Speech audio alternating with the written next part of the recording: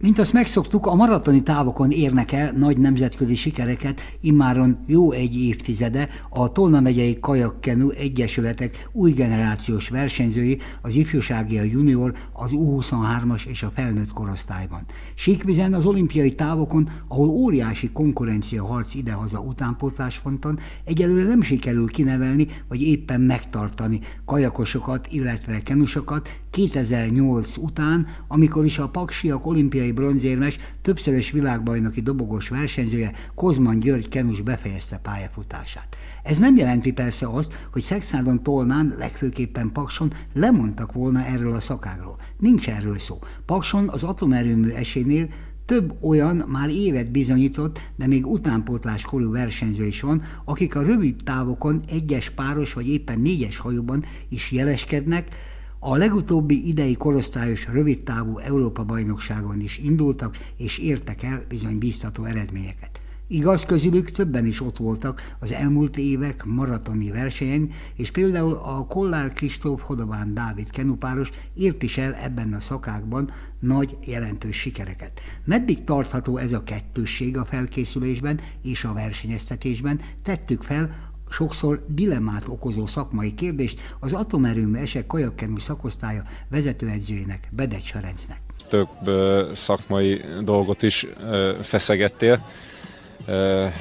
Ugye hát a, a két szám azért távol áll egymástól. A hosszú övezések benne vannak az alapozó munkába, egy, egy 500-as sprinter versenynek, versenyzőnek is a felkészülésében, nyilván nem olyan hosszú uh, intervallumban, mint, mint egy maratonistának.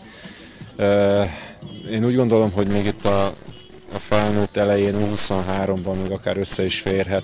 Jön egy következő befolyásoló tényező, milyen a versenynaptár, hogy áll össze.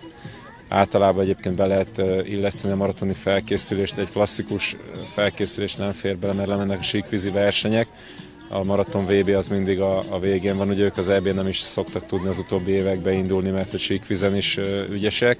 Minden évben ez, ez előjön, és ugyanakkor ugye az, is, az még egy fontos szempont, és tudnék még sokat mondani, hogy az ember mikor tudja megpihentetni a versenyzőjét, mert ugye nem lehet ezt a madzagot folyamatosan feszíteni, mert egyszer el fog szakadni, és, és ne Isten egy, egy sérülés formájában valamiben jelentkezik, tehát nagyon-nagyon előre kell gondolkodni és beosztani a, az évet, a versenyeket, meg a versenyzőket. Pup Noémi és Vajda Bence kajakosok már a sikvizen is jeleskednek. Megeshet, hogy az említett Kollár Hodován kenupáros esetleg egy-két éven belül valamelyik rövid távú olimpiai számra fog átállni, akár az 1000 méterre, amely hamarosan bekerül az olimpia műsorába. A és 23 Európa bajnokság, síkvíz Európa bajnokság, ahol a Vajda Bence, Pup Noémi, a Hodován Dávid, Kollár Kristóf képviselte az Atomerőmű Egyesületet, illetve Magyarországot. Ugye a Noémi 504-esbe másodikak lettek, három összeülés volt az Európa bajnokságot megelőzően, nyilván ott is az évfő verseny az majd a, a világbajnokság lesz.